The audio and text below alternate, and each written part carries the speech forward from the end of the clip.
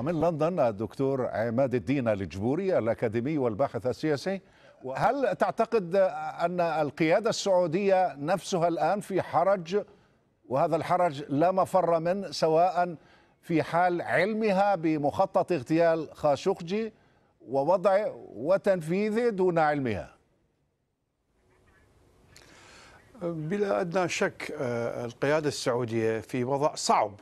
لا سيما من العالم الغربي لأنه هنالك ضغوطات سياسية وإعلامية. ولكن هذا الضغط لا يعني إرباك أو هلع داخل القيادة السعودية بدليل أنه الملك سلمان بن عبد العزيز أوعز إلى ولي عهد الأمير محمد بن سلمان بإعادة تشكيل القيادة الأجهزة الاستخبارية أو الأمنية بشكل خاص. معنى ذلك أنه هذه القضية مهما استفحلت فلا تعني النيل من النظام. السياسي الحاكم في المملكة العربية السعودية أكرر هنالك ضغط نعم واضح ولكن هذا الضغط لا يعني جعل القيادة السعودية في حالة إرباك وهلع وفي نهاية المطاف هذه القضية التي تم تعميمها لتكون قضية دولية وعالميه لا يعني نهايتها النيل من النظام الحاكم في المملكة. سيد الجبوري قلت في بداية إجابتك على السؤال الأول بأن السلطات السعودية لم تكن أو القيادة لم تكن على علم. يعني هل يصدق عاقل حكومة تخوض حرب في اليمن منذ فترة طويلة مكلفة استنزافية تجيش من أجل إيران وغير ذلك؟ هل يعقل بأنها لم تكن على علم بهكذا عملية؟ اولا في 30 ثانية أرد على الضيف الكريم في باريس عندما قال ولا أدري كيف دخل إلى عقلي وقال إنني أتكلم بما لا أصدق، أنا لم أحضر هنا لكي أتكلم بكلام لا أؤمن ولا أقتنع به، هذا ليس من ديدني وليس من سلوكيتي فتكلم عن نفسك ولا تشرك الآخرين بما يدور في عقولهم.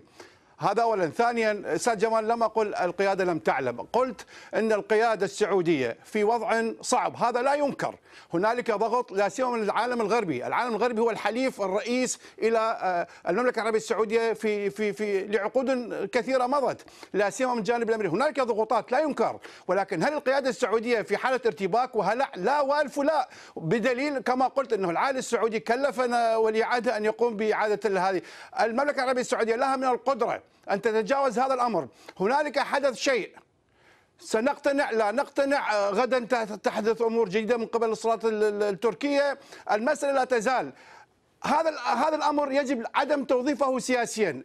الذي يدلي بدلوه من أجل النيل من من النظام السعودي. هذا يؤثر علينا من ناحية أنه لا تستغل سياسيا ضمن دولة عربية كبيرة لها ثقلها وزنها تقود تحالف عسكري عربي في اليمن ضد التمدد الإيراني. يعني علينا أن نجعل من شخص مهما كانت هذه مرفوضة العمل الذي جرى في داخل القنصلية 100% مرفوضة ولكن لا لا نجعل من هذا الفرد أن نتجه إلى مملكة لها ثقلها ووزنها تاريخيا عربيا وإسلاميا أن ننال من هذا هيكلة النظام ونجعل رأس النظام أنه هو الذي يتحمل المسؤولية. يعني علينا أن لا نمزج ونشرك بما نريد أن ننتقي لكي نوظف في اتجاهات سلبية لكي نكون عقلانيين وموضوعيين. هنالك حدث شيء يجب العدالة أن تأخذ مسراها ومجراها الكبير ولكن ليس على النيل من النظام وفيما بعد يؤثر على هيكلة الأمن القومي العربي. أعلى كيف ترون الموقف السعودي المحاصر الآن بالرفض والانتقاد خاصة من الدول الأوروبية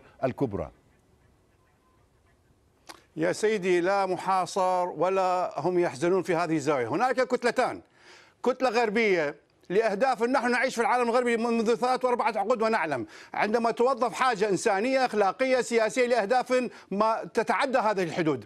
لماذا نتكلم عن الكتلة العربية؟ أليس البلدان العربية لها وجود؟ لماذا لا أحد يذكر هنالك سبعة أو ثمان دول عربية تؤيد ما أتى من, من قبل المملكة العربية السعودية، ليس لها وزن؟ لماذا نغض النظر عن الكتلة العربية وفقط نركز على الكتلة الغربية؟ الغرب له مصالحه في نهاية المطاف، لا يهمه جمال خاشقجي ولا يهمه غير جمال خاشقجي بقدر ما يهمه مصالحه بالدرجة الأولى، نتكلم عن الكتلة العربية، هنالك ست أو سبع دول عربية أعلنت مواقفها بشكل رسمي أنه تؤيد ما جاء من من من, من الطرف السعودي، لما لا نأخذ به؟ أي موقف؟ عن أي موقف تتحدث؟ عن القتل؟ يا سيدي ما أتى المملكة العربية السعودية بالتحقيقات الأولية لا تزال سلسلة من التحقيقات لم تنتهي. هذا اولا. ما أتى من من من المبادئ الأولية من قبل الاعتراف بالقتل.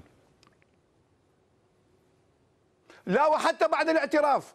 حتى بعد الاعتراف مصر فلسطين الأردن البحرين آه، عمان آه، عدة دول عربية أيدت التحقيق الأول الذي جاء. سيما وأن قلنا في حينها أن حتى وزير العدل السعودي قال لم تكتمل التحقيقات وسوف تحال إلى المحاكم وكل يسير وينال عقابه وفق العدالة. يعني هذا أمر أيدته عدة دول عربية لماذا لا نأخذ به ونغض النظر عن موقعنا وواقعنا العربي وننظر إلى الغربي فقط؟ كأنما علينا نتج نحو نحو ما يجب أن يكون على وبنغض على ما يجب على لا يكون. يعني هذا هذا المنطق لا يفهمه.